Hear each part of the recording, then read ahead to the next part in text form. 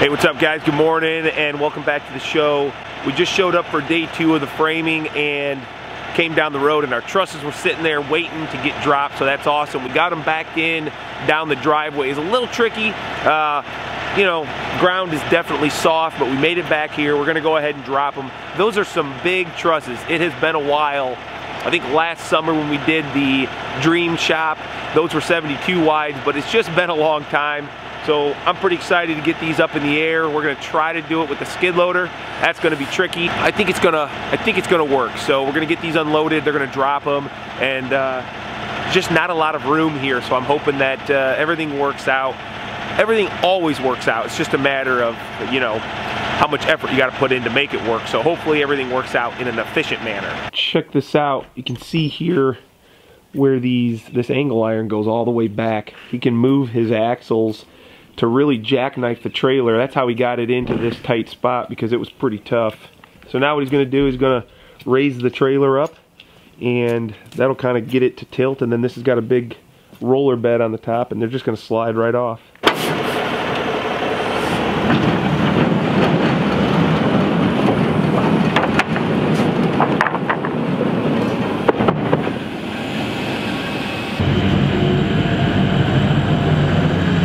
Look at those things, man. They're huge. Pretty sweet. This time around, I had my truss guy run uprights where every column is gonna be. It's gonna give us a nice place to nail.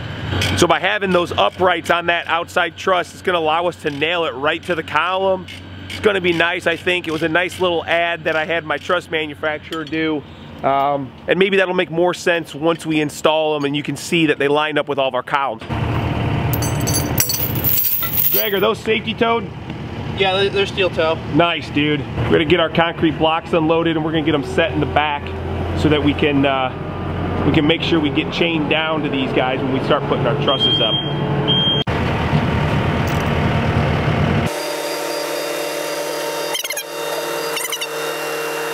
Uh, yeah. There you go. Yeah. I'll go ahead, you raise it up just enough. You don't have to go crazy, and I'll drive out of here. Keep going. Keep going. Okay.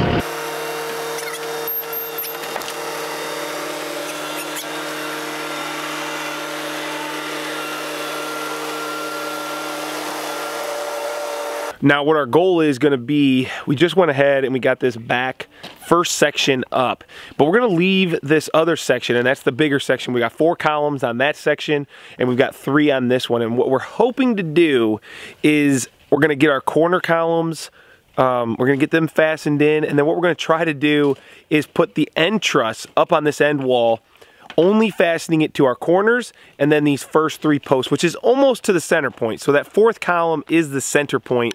And once we've done that, then we will stand up this other wall. And the reason being is you can see all these trees behind us. I can't come around the job site with my skid loader and put that truss up from the outside. I gotta do it from the inside.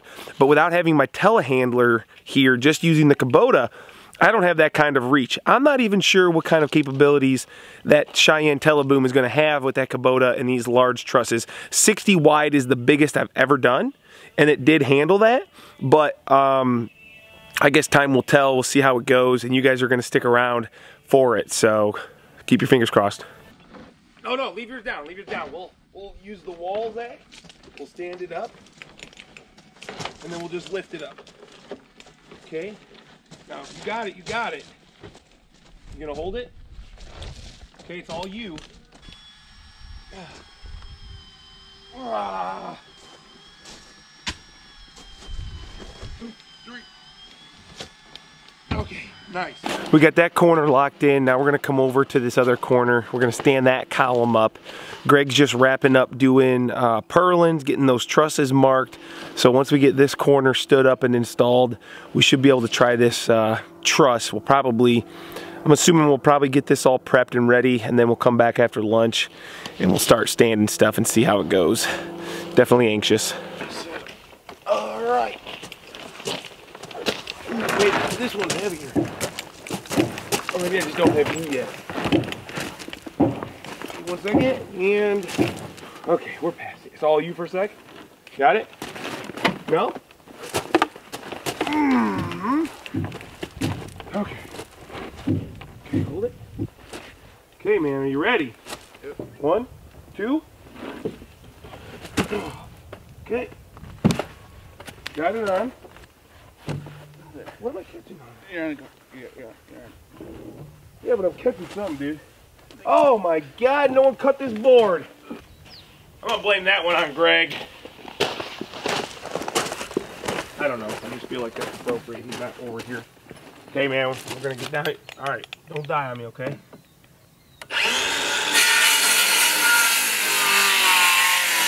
Okay, spin it. Keep going as much as you can.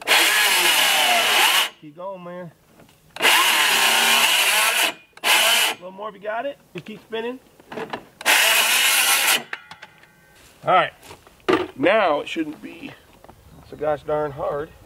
Now it shouldn't go anywhere. Yeah. Grab the level and uh, I'm gonna throw these boards on. All right, back corner post column that is done. If you can't tell, still rocking this man cold.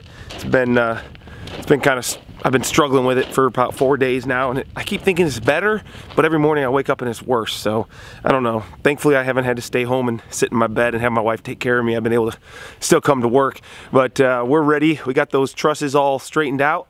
Greg got that done. He got them marked. So when we come back from lunch, we're gonna throw up that last or the first truss on the far end. We'll get that locked down, and I'm gonna try to do a video here on this build, showing you guys how you know how we um, use the chains, utilize them to both you know secure the building from a structural side and to level out, plumb out, make everything perfect so that we can put our steel diaphragm on.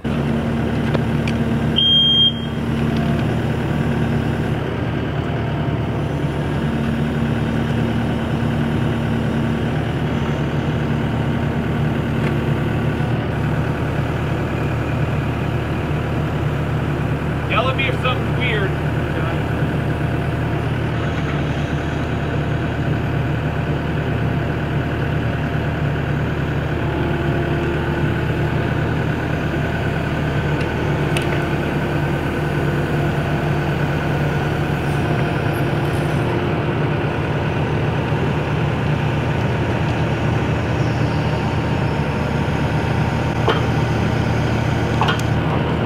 See, that's, that's what I'm saying. That, So we're gonna have to put a stiffener out there?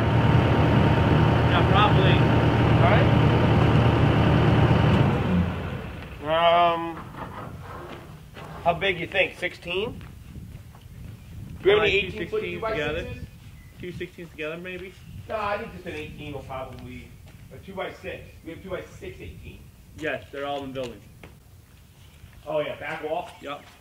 Okay, I need an impact with a 225. That's probably in the building also. Well, I'll just grab one.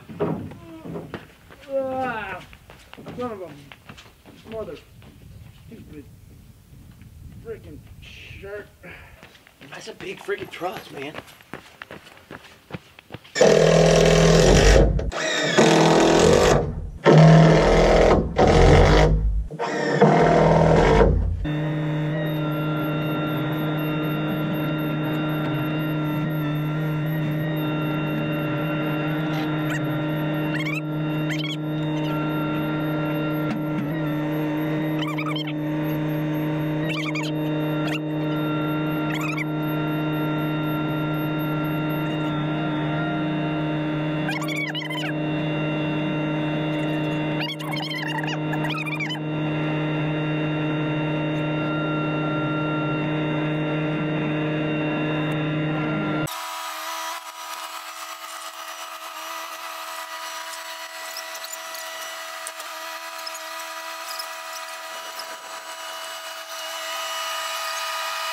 Man, that was a little hairy. Um, I don't know if we're gonna be able to do these other two ply trusses with the with the skid loader. Um, we're gonna get this one nailed off, and then I guess we're gonna give it a try. You don't know until you try.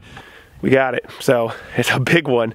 I can't wait till we get this truss uh, set up. It's really gonna define the building. Okay, so we've got this block in. You can see the concrete block right out here, and that's what we're chaining right now the, the last column that we've got built, it's not the peak column, that's the ideal column that we want to chain back. But we're gonna go ahead and stand this last wall section up. Now that we have the truss in place, we'll get everything fastened, nailed off. And then from there, we're gonna spend a lot of time bracing, getting the building locked down and as straight and plumb and strong as possible before we start coming out with trusses. Now you can just get into it, start whipping out trusses and you're gonna feel great. But then when something's wrong, it's gonna take a lot of work to get things straight. If you can straighten the building now as you build out, it will be straight when you finish versus getting to the end and having to move and twist and pull and just, it's a pain in the butt. So I'm telling you, if you're ever gonna do a large truss building, do as much work on this first truss as possible. Get it as straight, square, plumb, all that good stuff. Then start working. Working, that's what I gotta do right now.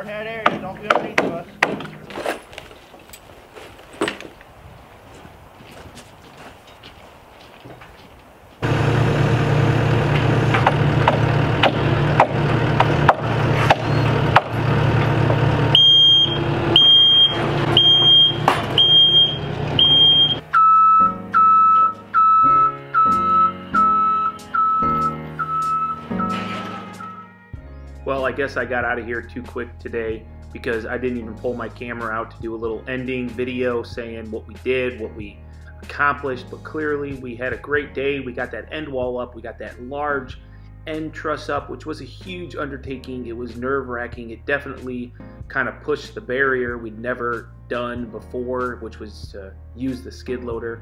Uh, and you can see we've got all those chains up. So we've got that wall really locked down. I know people always kind of question whether or not we have these things braced. You can see the concrete block there, but that's kind of beside the point. We'll go over that in a future video maybe. Um, I appreciate you guys hanging around, spending time with us, and hopefully you learned something. Hopefully you enjoyed this. And hopefully if you haven't, hit that subscribe button. But I'm going to get out of here. You guys have a good one, and I'm going to leave you with this epically straight end wall. Now make sure you turn that bell on because I'm going to be putting up a daily video vlog of this build and it's going to be awesome so you don't want to miss out. We'll see you guys tomorrow.